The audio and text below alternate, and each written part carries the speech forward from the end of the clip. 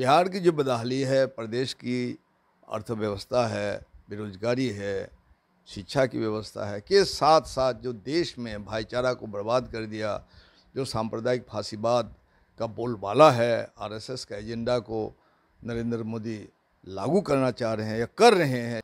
नमस्कार, आप देख रहे हैं न्यूज़ पो नेशन। में आपके साथ अभिजीत सिंह। बिहार में महागठबंधन की सरकार जब से बनी है, तब से जो तमाम पार्टियाँ हैं, जो आरजेडी और जदयू को छोड़कर जो तमाम महागठबंधन की पार्टी हैं, जो कोऑर्डिनेशन कमेटी बनाने की मांग कर रही थी तो कल इस पर जो महागठबंधन की बैठक हुआ, उसमें सहमति बन गया है कि अब कोऑर्डिनेशन कमेटी बना दी बना दी जाएगी।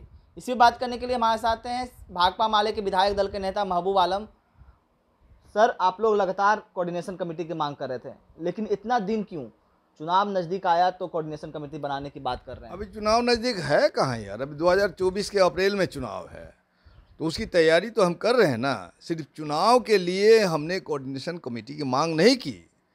बिहार की जो बदहाली है, प्रदेश की अर्थव्यवस्था है, बेरोजगारी है, शिक्षा की व्यवस्था है, के साथ साथ जो देश में भाईचारा को बर्बाद कर दिया, जो सांप्रदायिक फांसीवाद का बोलबाला है, आरएसएस का एजेंडा को नरेंद्र मोदी लागू करना चाह रहे हैं या कर रहे हैं, जिस तरह से आपने देखा कि संसद भवन के उद्घाटन में राजदंड का स्थापित किया गया, जो राजतंत्र का प्रतीक है तो इन तमाम, और उसी दिन आप देखते हैं कि मांग जो हमारी पहलवान बेटियाँ, जिन्होंने देश का नाम रोशन किया पूरी दुनिया में, उनके साथ बदसलूकी, उनके साथ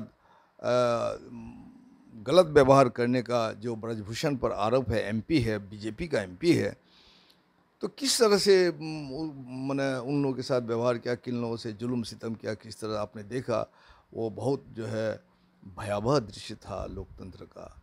इन तमाम मुद्दों को लेकर के ये हम मानते हैं कि एक फांसीवादी ताकत है, जो केंद्र में काबिज हो चुका है और उनको उखाड़ फेंकने के लिए, लोकतंत्र को मज़बूत करने के लिए, संविधान की रक्षा के लिए पूरे देश को एकजुट होने की ज़रूरत है और आज माननीय नीतीश कुमार के नेतृत्व में पूरे देश के विपक्षी नेताओं को जो एकजुट करने का पहल शुरू किया है, उसका नतीजा आप देख रहे हैं कि 12 तारीख में बिहार में पूरे पूरे देश के प्रतिपक्ष के नेताओं की बैठक होने वाली है। उसी क्रम में बिहार में भी महागठबंधन के नेताओं की बैठक हुई है, पार्टी के अध्यक्ष और सचिवों की बैठक हुई है और आने वाला पंद्रह दिन में, पंद्रह तारीख को पूरा देश में, पूरा बिहार में हम केंद्रीय सरकार की तानाशाही जन विरोधी बेरोजगारी, शिक्षा, महँगाई मुद्रास्फीति के खिलाफ, नीति के खिलाफ हम प्रदर्शन करेंगे और आपको जिला स्तर पर भी और प्रखंड स्तर पर भी कोऑर्डिनेशन कमेटी बनेगी। सर, जिस तरह से आप लोग बहुत लंबे समय से कोऑर्डिनेशन कमेटी की मांग कर रहे थे, लेकिन इसमें आरजेडी और जदयू ने सहमत नहीं बना रहे थे, लेकिन अब सहमत बना लिए। तो ऐसा क्यों? अभी चुनाव नज़दीक आया 2024 का, तभी बात आपका सुनेंगे पहले से आप लोग मांग कर रहे थे। आपके कई जो नेता हैं, वो भी मांग कर रहे थे, कह रहे थे कि कोऑर्डिनेशन कमेटी जाइए, क्योंकि नई शिक्षक नामावली लाएगा, उसमें आप लोगों की सहमति नहीं लिया गया था।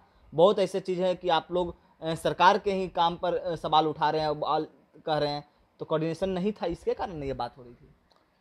देखिए कोऑर्डिनेशन कमेटी की मांग हम कर रहे थे और यद्यपि देर हो गई, फिर भी हम स्वागत करते हैं। देरी से ही, लेकिन शुरुआत हो चुकी है। और देखिए, एक लेजिस्लेचर है, विधायिका है, उनका अलग काम है और पार्टी है। जनता के बीच में जनसंघर्षों का अलग अलग काम है और दोनों को तालमेल बैठाना ज़रूरी है। इसलिए हम नहीं समझते हैं कि देर हो गई तो उसको एक मुद्दा बनाया जाए। सबसे बड़ी बात है कि इसका स्वागत करना चाहिए। आप लोगों को भी कोऑर्डिनेशन कमेटी बनने की शुरुआत हो चुकी है। कॉमन मिनिमम के लिए भी आप बोल रहे थे। हाँ कोऑर्डिनेशन कमेटी बन जाएगी तो कॉमन मिनिमम प्रोग्राम भी बनेगा। जी।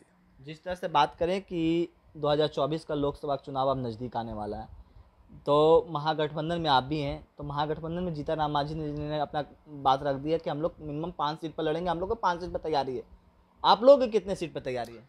आप लोग भी लड़िएगा तो। अभी हमारी जो तैयारी है जो हम वामपंथी पार्टियाँ C P I M L C P I C P M हमारी तैयारी के बारे में हमारी पार्टी की जो कमेटी है कमेटी के सचिव है कॉमरेड कुणाल बिहार में और देश के स्तर पर जो कॉमरेड दीपंकर भट्टाचार्य उनके जवान से ये सब बातें आएगी हम लोग ये सब बात अभी नहीं करेंगे। नहीं लेकिन आप लोग की तैयारी क्या है? आप विधायक दल के नेता तो हैं भाकपा माले के।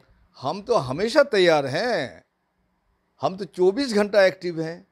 नहीं मांझी जी ने अपना तो वक्तव्य बोल दिया पाँच आप लोग कितने पे तैयारी माझी का अपना मुद्दा है यार। हम लोग तो हमेशा तैयार है। हाँ। हमेशा हम लोग तैयार है। और 2024 के फांसीवादी ताकतों को उखाड़ फेंकने के लिए हम लोग कुर्बानी की किसी भी हद तक जा सकते हैं। इसलिए तैयारी है हमारी। वामपंथियों की तैयारी है। पंद्रह सीटों पर हम तैयार कर तैयारी कर रहे हैं। लेकिन इसके बावजूद भी हम प्रदेश की जनता को ये संदेश देना चाहते हैं कि हम गठबंधन की बैठक में आपस में जब सीट एडजस्टमेंट का सवाल होगा हमारा एडजस्टमेंट हो जाएगा और किसी भी हद तक हम कुर्बानी देने के लिए तैयार हैं। इस बार नीतीश कुमार जी आपके साथ भी हैं। पिछले बार महागठबंधन में तो वो एनडीए एनडीए के साथ नीतीश कुमार थे लेकिन अब इस बार आप लोग के साथ हैं।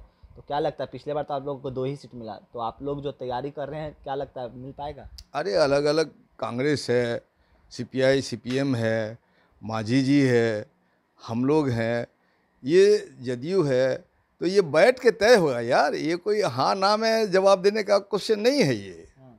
मतलब कोऑर्डिनेशन ये बनेगा राजनीतिक सवाल है और राजनीति में इस तरह से कोर्ट के तरह से एक वकील के तरह जो हमसे सवाल कर रहे हैं आप ये ठीक नहीं है हो जाएगा। मतलब कोऑर्डिनेशन बनेगा। बनेगा कंडीशन बन रहा है बनेगा और सीट एडजस्टमेंट भी हो जाएगा।